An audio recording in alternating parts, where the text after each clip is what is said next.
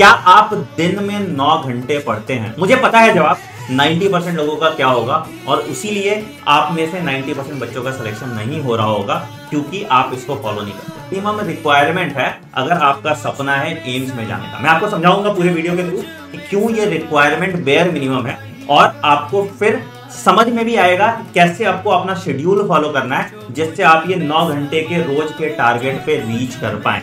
देखो, मैं चाहता हूँ कि तुम कम से कम पढ़ के ज़्यादा से ज़्यादा मार्क्स अटेन करो स्मार्ट वर्क जिसको कहते हैं ना? बट ऐसा नहीं है कि सिर्फ़ स्मार्ट वर्क से सिलेक्शन होता है। आपको हार्ड वर्क भी ज़रूरत है। तो आप चाहे कितना भी स्मार्ट है, आपको ये नौ घंटे तो पढ़ना ही पढ़ना है। अब आपके पास थोड़ा कम टाइम बचा है तो आपको लेक्चर टाइम का भी ड्यूरेशन कम करना पड़ेगा मतलब स्मार्टली पढ़ना पड़ेगा इंपॉर्टेंट चीज़ पढ़ना पड़ेगा। बट 200 घंटे की अगर आपका लेक्चर टाइम है तो आपको 300 घंटे प्रैक्टिस और रिवीजन में देना है।